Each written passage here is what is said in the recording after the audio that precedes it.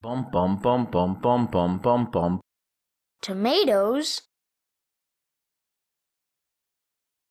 Hello, welcome to video 4. What is the UMG slot as X node? I've got a quick little example here. Let me go ahead and run it.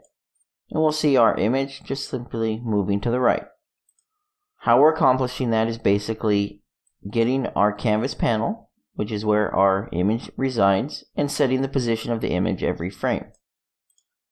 Remember, slots are basically where things are or the container that contains them. In this case, I have an image, and you notice the slot is the canvas panel slot because the canvas panel is the parent. Now, traditionally, in order to get the parent or the slot, you have to get the image, then you have to get the slot, then you have to cast it to the appropriate type.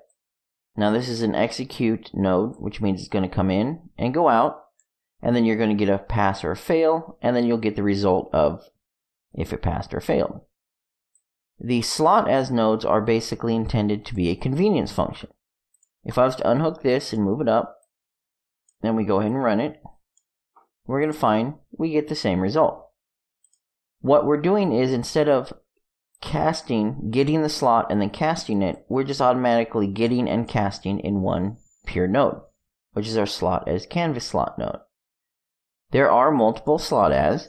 If we do slot as, we'll find all of our primary container nodes. The canvas, the grid, horizontal and vertical slots, overlay, and uniform.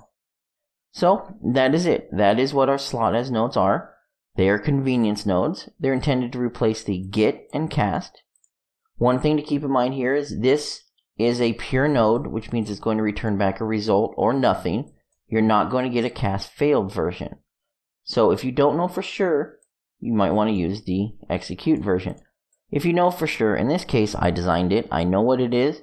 This is just a convenience function without having to hook up an execute wire. If you have any questions or comments, please feel free to leave them below.